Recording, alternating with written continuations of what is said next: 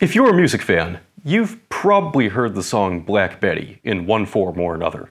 It's a song that has had many different iterations over the years. Maybe you're familiar with the Ram Jam version, maybe the Spiderbait version, or maybe you're old school, maybe you prefer the Leadbelly version.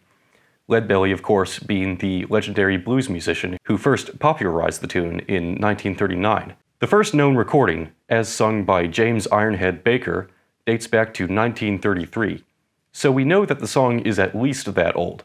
However, it has been speculated that the song has roots in older material. Much older material, according to one YouTube commenter who we will simply call Fred. You see, according to Fred here, the song originated as a British marching tune. Yeah, that got your attention, didn't it?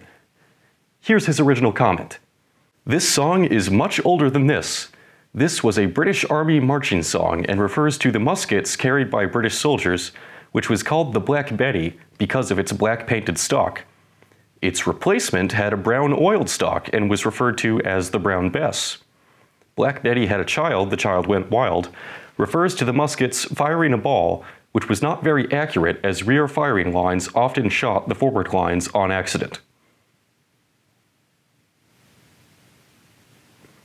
Birmingham refers to Birmingham, England, where the muskets were made, not Alabama. There are many references to this in literature, as far back as the early 1700s. I wanted to make this video because there's a lot to unpack in this comment. And the thing is, normally, I wouldn't bother. After all, it's just a dumb comment on YouTube, and those are a dime a dozen, so who cares? If I made a video for every dumb comment on YouTube that I saw, I would never have time to do anything else. So, why am I making this video? Well, because this particular comment has over 4,000 likes on a video that has over 2 million views, meaning it has touched the lives of at least 4,000 people, but probably more. So in this case, I'm making a special exception. So first of all, let's address the notion that there was ever such a musket as the Black Betty. But before we do that, we first need to address some things about the Brown Bess. This is a brown bess, or more specifically, this is the short land pattern second model brown bess, the iteration of the weapon that would have been used during the American Revolution. The brown bess was the standard issue weapon used by most branches of the British military for well over 100 years. It saw service from 1722 to 1838, and it went through several changes over the course of its career, but the basic firing mechanism remained the same. It's a flintlock. And according to at least one researcher, the name actually has nothing at all to do with the color of the stock. Brown is an 18th century slang term meaning dull or plain, while Bess is a nickname often prescribed to, well, women of ill repute, shall we say.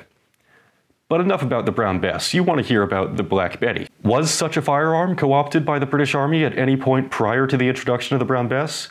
Well, no. You see, prior to the introduction of the Brown Bess in the early 1720s, the British Army didn't really have a standardized firearm. While they would have been using more or less the same firing mechanisms, the exact designs of the muskets would have varied from regiment to regiment, as they would have been commissioned by the individual officers of the regiments, and therefore they would be custom made according to the tastes of those officers. So could there have been a regiment at one point in time that used muskets with black painted stocks? Maybe. I don't have the resources to definitively say no, but this idea that there was ever some sort of ubiquitous precursor to the Brown Bess, universally referred to as the Black Betty, is dubious at best. While the term Black Betty does exist in the 18th century, it almost always refers to whiskey and not a firearm. Now we move on to the second part of Frank's comment. Black Betty had a child, the child went wild, refers to the musket firing a ball, which was not very accurate as rear firing lines often shot the forward lines on accident. This part, I can say with a fairly high degree of certainty, is unequivocally false. Yes, smoothbore muskets are relatively inaccurate compared to rifled firearms. But if your rear rank is regularly shooting your front rank, you are doing something very wrong. The only way this would be possible would be if your rear rank is standing way too far back, and the British Army did not operate in this way. This is basically just regurgitating the age-old misunderstanding of everyone in the past was stupid, so it just be like that sometimes, I guess. In reality, proper military procedure, according to the 1764 Manual of Arms, calls for the rear rank to step up and place their left elbow against the front rank's right shoulder. Therefore, when they go to fire, their barrel will always be clear of the man in front of them. So if you're firing a volley and you're in the front rank, maybe you might get singed a little bit by the, uh, the flash in the pan of the man behind you, but uh, in all likelihood, you're not going to be shot in the back. Unless, of course, your officer happens to be Donald Sutherland. And now, at last, we come to the last part of Frank's comment. Birmingham refers to Birmingham, England, where the muskets were made, not Alabama. This part can at least be partially substantiated. A vast quantity of the iron used in the Brown Bess, in metal components such as the lock plate and the barrel, were produced in Birmingham. However, once these components were produced, they would then be shipped to places like the Tower of London, where they would be inspected. And then final production of the weapons would be handed off to local gunsmiths in London, who would put the finishing touches on the pieces, such as the brass furnishings and the wooden stocks. So Birmingham was not solely responsible for the production of these weapons. So if Black Betty was not a British marching song and does not refer to a musket, then what then is the true meaning of the song? Well, there's no clear consensus.